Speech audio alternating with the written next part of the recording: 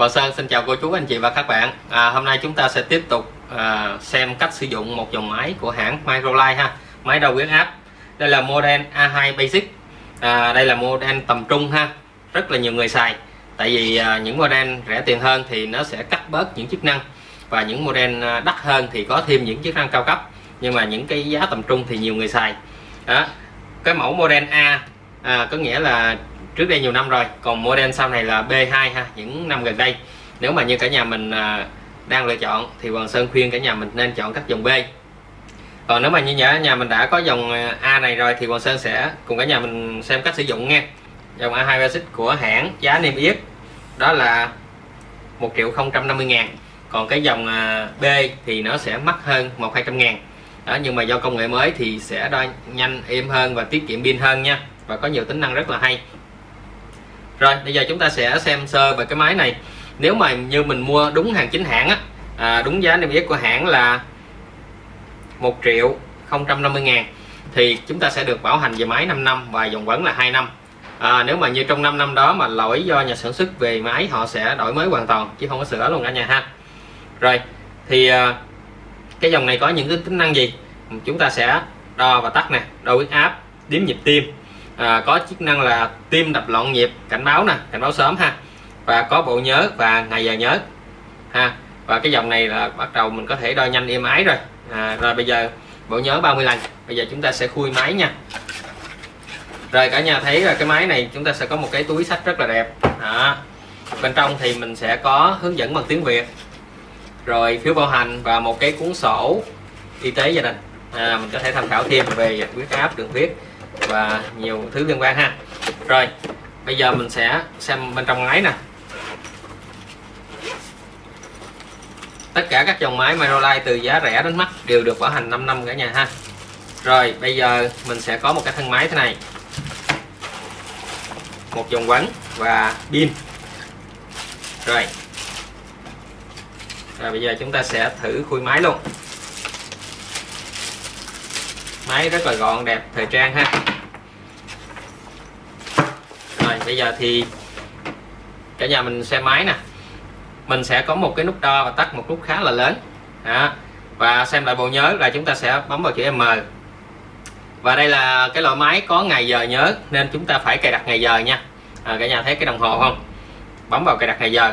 Do ở đây có ba nút nên nó cũng khá là tiện đối với người lớn tuổi ha. Nó không có nhiều nút làm cho mình sẽ rối rồi một bên là gắn vào dòng quấn nè, vòng quấn hơi. Bên còn lại là chúng ta thấy cái biểu tượng của điện là 6V DC thì mình à, nếu mình mua cái cục biến điện rời á, mình có thể cắm vào đây để mình xài thay pin. Đối với những dòng cao cấp thì sẽ được đi theo còn những dòng như thế này. Do tiết kiệm á, để cho bà con mình dễ lựa chọn thì à, bỏ bớt những cái bộ phận đó ra để giá thành nó sẽ rẻ. Nhưng mà Hoàng Sơn nghĩ thì cả nhà mình cũng có thể không cần phải mua cái cái cục đó tại vì một bộ pin tốt nó xài được cũng cả ngàn lần tức là xài được gần gần cả năm. Đó nên là cả nhà mình mua bộ pin tốt á, thì mình xài à, được nhiều một năm rồi. À, nhiều bộ pin như vậy thì nó cũng bằng cái giá của một cục biến điện nha. Còn cục biến điện đó ví dụ mà bác sĩ hay xài thì mình nên xài cái dòng đó tại đo một ngày rất là nhiều bệnh nhân. Đó, và thường những cái dòng máy cho phòng khám thì có luôn rồi. Bây giờ mình sẽ gắn pin vào ha. À, chúng ta sẽ có bốn viên pin 2A rồi thì đi theo máy là bốn viên pin tốt thì cả nhà mình để trong đây không sợ chạy pin. Còn nếu mà sau này mình kiếm không được pin tốt á pin thường thì cả nhà đo thì chú ý thường xuyên kiểm tra coi nó có bị chảy pin hay không. Nhiều khi mình bỏ quên vài tháng đó nó chảy pin hư máy rất là tiếc nha. Còn nếu mà như à, chúng ta ít có đo thì chúng ta nên lấy pin ra. Còn những dòng pin tốt pin khô như thế này thì không có cần ha. Rồi mình sẽ lắp pin vào. Rồi à, trước khi đo thì mình ngồi nghỉ khoảng 50 phút để cho sức khỏe mình nó bình thường ổn định thư giãn ha. Để nó mới đo được chính xác cái huyết áp của mình. Ví dụ mình đang làm việc thì à, dẫn ra kết quả nhưng mà à, nó sẽ không có nói lên được cái chính xác sức khỏe của mình thế nào ha. Một ngày thì mình có thể đo rất là nhiều lần. À, mình chỉ tốn pin chứ không tốn gì hết nên cả nhà mình có thể đo bất cứ lúc nào. Nhưng mà nếu mà như chúng ta có sức khỏe ổn định á, thì chúng ta có thể một ngày đo một lần hoặc hai lần thì đo cùng thời điểm trong ngày ví dụ hôm nay mình đo tầm 8 giờ sáng thì ngày mai ngày kia cũng vậy. Và nếu mà hôm nay là đo buổi chiều thì ngày mai ngày kia để mình có thể kiểm tra được cái sức khỏe mình trong tháng nó có nằm ngang hay không hay nó có lên một xuống không. Cả nhà ha tại huyết áp mình buổi sáng và buổi trưa chiều nó sẽ khác nhau. Đó cả nhà chú ý ha. Rồi cái màu vàng này không thể lạc đi đâu được ha. Mình cắm vào cái chỗ màu vàng này. Đó. Rồi à, trước khi đo thì mình sẽ cài đặt ngày giờ nha. Cả nhà chú ý ha. Bây giờ mình sẽ lột cái màn hình ra đó, trên đây sẽ có những cái biểu tượng ngay cả nhà mình xem nè. Đó vòng quấn đúng tư thế nè, hay là tim loạn nhịp nếu có sẽ báo đây. Có bộ nhớ và ngày giờ trên đây ha. Rồi, bây giờ mình sẽ khui máy. Rồi, nếu mà khi mình bỏ pin vào thì máy tự động nó chớp chớp để cho mình có thể cài đặt ngày giờ. Còn nếu mà như mình để lâu quá nó tắt thì mình sẽ tự động mình bấm vào đồng hồ giữ khoảng à, 3 đến 5 giây nha. Đồng hồ nè 1 2 3 3 giây ha. Rồi, nó sẽ hiển thị cái năm lên. Mình bấm chữ M là chuyển nha. Của mình tăng nha, tăng là 2022 sau đó mình bấm tăng tăng tăng nữa thì nó sẽ tăng lên. Nếu mà lỡ lố rồi, mình có thể bấm xoay vòng qua 2050 nó sẽ quay lại 2020 ha. Đó, hoặc là mình đè giữ luôn thì nó sẽ nhảy được. Bấm vào đây là mình sẽ coi nè nha. Ví dụ, mình bấm xoay vòng nè, giữ luôn ha. Số 12 trước có nghĩa là tháng trước đó. Rồi nay là tháng 2 nè. Bấm vào đồng hồ là chuyển qua ngày. Ví dụ đây là ngày 20 ha 20 rồi. Mình bấm vào giờ. Rồi chuyển qua phút. Rồi xong ha. Tức là mình chỉ có hai nút này thôi. Giữ 5 giây để vào chức năng à, cài đặt ngày giờ. Và bấm chuyển chuyển à, ngày chuyển tháng chuyển năm. Còn m là tăng giá trị lên tăng tăng tăng lỡ lố thì sẽ xây dòng lại. Rồi vậy là xong rồi đó. Bây giờ chúng ta sẽ đo nghe. Rồi vòng quấn nè.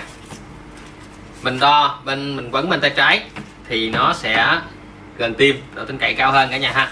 Đó, mình bật cái vòng quấn ra. Cọng dây nè mình nắm chỗ màu vàng nha. Cọng dây xây ra ngoài. Đó nếu mà áo mình mỏng á thì mình để luôn. Áo mình dày thì mình nên mặc áo ngắn tay. Rồi cách khuỷu tay 1 2 cm cả nhà ha. Coi giãn được nè ha co lên co xuống được. Và mình để cái vòng dây giữa tay nè. Bây giờ mình sẽ nắm cái vòng quấn mình kéo thẳng ra ngoài. Không cần chặt lắm ha, cho nó vừa thích thôi. Rồi mình quấn vòng tròn quanh nó. Rồi là xong ha. Rất là dễ, tùy mình tự đo được ở nhà và máy hoàn toàn tự động luôn. Rồi, cả nhà mình nhìn nha. Bây giờ mình sẽ bấm vào nút đo. Khi đo thì không nói chuyện ha. Khoảng tầm một phút, cả nhà mình sẽ xem đồng hồ để xem luôn cái quá trình hoạt động của nó như thế nào.